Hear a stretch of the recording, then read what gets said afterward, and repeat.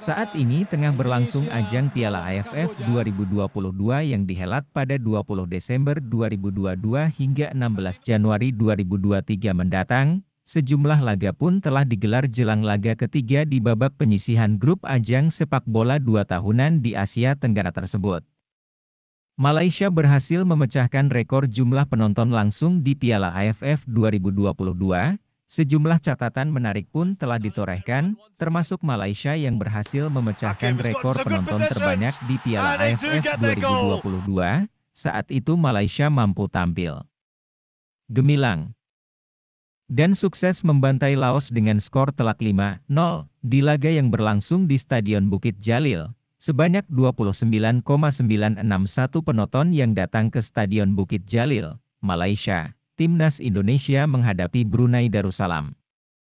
Ada dua pertandingan dari grup A yang digelar di Piala AFF, Senin, 26 Desember 2022.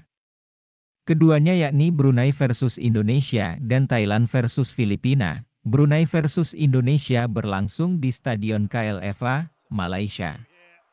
Kickoff pukul 17 waktu Indonesia Barat, Timnas Indonesia saat ini menempati posisi ketiga grup A dengan tiga poin.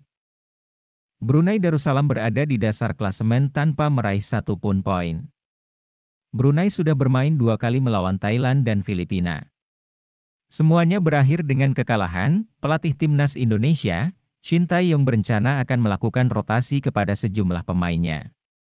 Hal ini bukan tanpa alasan, Sebab pelatih asal Korea Selatan itu ingin menjaga stamina pemain agar tetap bugar mengingat jadwal turnamen yang padat. Selain itu, Piala AFF 2022 dikembalikan ke format pertandingan kandang tandang. Saat Piala AFF 2020, yang berlangsung pada akhir 2021, turnamen antar negara Asia Tenggara itu digelar terpusat di Singapura akibat pandemi COVID-19.